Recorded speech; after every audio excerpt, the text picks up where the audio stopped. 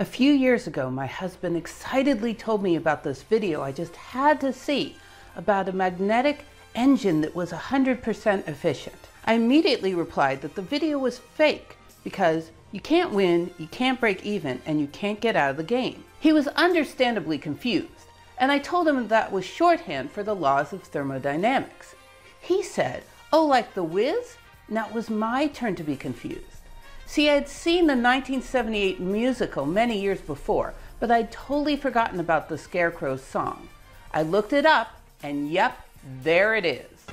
You can win, child. You win, child. You can't break even. You can't get out of the game. I started to wonder, why is a scarecrow singing about the laws of thermodynamics? Ready to learn the story? Let's go. Electricity, electricity, electricity, electricity. It all started in the 1940s and 50s when there was an assistant professor of mechanical engineering at Harvard named Dr. Wayne Batteau. Dr. Batteau was an avid fan of science fiction and started a speculative society of science fiction lovers, which was, as he put it, quote, the marketplace of half-baked ideas. Anyway, the editor of a science fiction magazine called Astounding Science Fiction would occasionally join them and then fill some space with some of Batteau's clever math and physics jokes. In 1956, he quoted Batteau as saying, The three laws of thermodynamics translated from mathematics into English come out, you can't win, you can't even break even, Furthermore, you can't get out of the game. Batteau's joke, by the way, was that information theory was the opposite i.e., you can win, you can support a friend, and you can quit the game when you're ahead. I don't really get the infodynamics joke. Maybe you do. Please explain it to me. But I do get why the three laws of thermodynamics can be expressed this way. The first law, energy of an isolated system is conserved, i.e., you can win, The first law says that energy can be transformed from one object to another or from one form to another Remember, heat is a form of energy, but the total energy remains the same. So why is this law represented by the expression you can't win? Well, you can't win, meaning you can't get more energy out of the system than you put into it. Law number two, any real process increases the entropy of a system, i.e., entropy is a measure of the disorder of a system or its messiness. Hot objects have more entropy than cold ones, mixed more than separate, liquid more than solid. You can easily reduce the entropy of a single object, but in the process, you must increase the entropy of other objects so that the sum total change in entropy is greater than zero.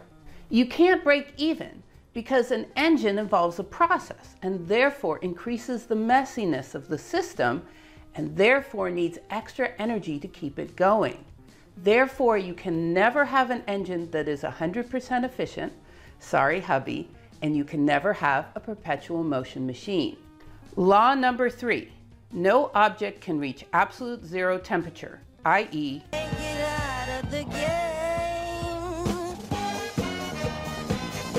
We can make objects very close to absolute zero, but we can never reach it which means that molecules are always moving around a little bit, which means even on the molecular scale, you can't get out of the game.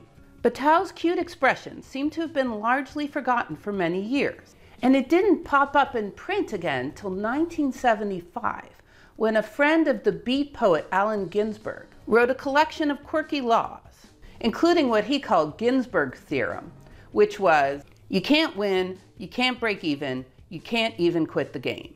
It seems likely that Ginsberg read Batteau's joke, dropped the thermodynamics part, and just made it into a depressing Murphy's Law type expression that he liked to give. After that, physicists started to use Ginsberg theorem to teach the laws of thermodynamics, not knowing that Ginsberg didn't come up with it. Now we finally get to the Wiz. In 1970, a man named Ken Harper approached 27 year old composer named Charlie Smalls about writing the music to a brand new musical. Now, Charlie Smalls was a good choice. He was a musical prodigy who'd been giving concerts since the age of five and had joined Juilliard when he was 11 years old, and he'd written hundreds of songs by this time.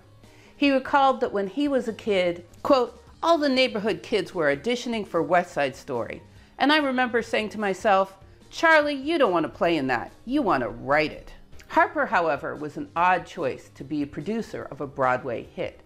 He was a former soap opera actor and who had just quit his job as a program director of a radio station to make his dream a reality, telling investors, quote, we're going to do a new version of The Wizard of Oz with a contemporary score and an all-black cast. It will be fun and it will be spectacular.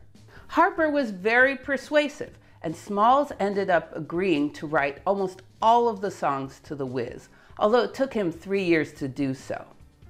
I don't know how Smalls heard the expression, you can't win, you can't break even, and you can't get out of the game. He could have read it in the original science fiction magazine, as he used almost the exact same wording as Batteau used 18 years earlier. Or he could have heard it from Allen Ginsberg, or even somewhere else. Either way, Smalls was inspired, and in 1974 wrote You Can't Win for the Wicked Witch's servants to sing. He wrote a completely different song for the Scarecrow to sing. They opened The Wiz, the super soul musical Wonderful Wizard of Oz in October of 1974. They then spent months revising it, hiring a brand new cast, a brand new director, who decided to drop the You Can't Win song, as it seemed to take away from the Wicked Witches song, Don't Nobody Give Me No Bad News. Anyway, at first they had very bad attendance and a lot of really critical reviews from possibly racist reviewers, and they were about to be shut down when they had the radical idea of advertising on TV. The Wiz live on stage at the Broadway Theater. It's a dream come true. Suddenly they were a hit, and with popularity came better reviews. By the end of the year, they had won seven Tonys and seemed perfectly poised to make money on the big screen.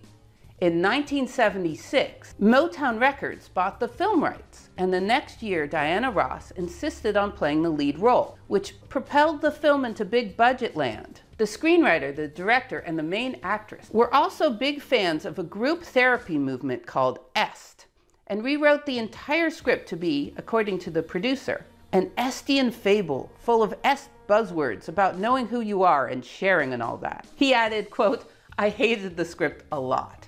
The music director of the film, renowned producer Quincy Jones, whose middle name is Delight, which I find delightful, made far less changes in the music.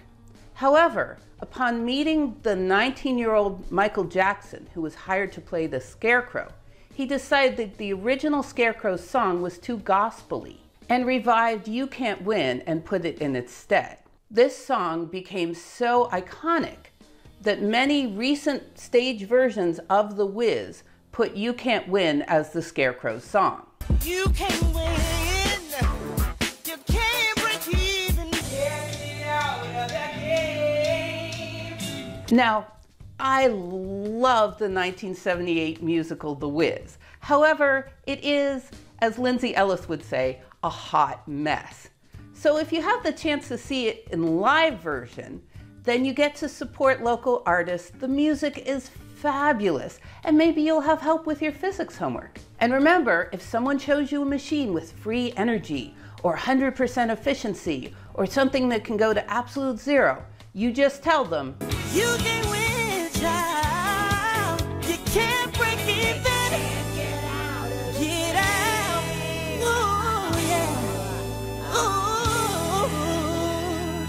Yeah.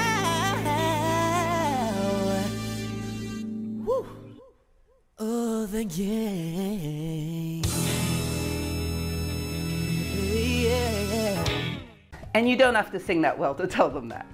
Anyway, if you want to know more about the three laws and where they came from, I have your back. I've already made a video about the third law and how it was created by a chemist trying to make fertilizer and how it ended up making Einstein and his quantum theories famous. I'm now working on a video on the first two laws which is a story of an amazing 1700s female scientist dropping lead weights, a shy and troubled French engineer who liked trains, and a kind German who had the same stern look and beard in absolutely every picture or drawing ever taken of him. And that is next time on The Lightning Tamers. Thanks for watching my video. Remember to give me a thumbs up. It totally helps me out, really does. Share it on social media and subscribe, subscribe, subscribe. Big thank you to my Patreons who really helped me with this. And also, if you want to join their ranks for just a dollar a video, you can. The link is down below. There's also links down below to where I got all of my videos from. And remember, support your local artists. They're awesome. Okay, have a good day.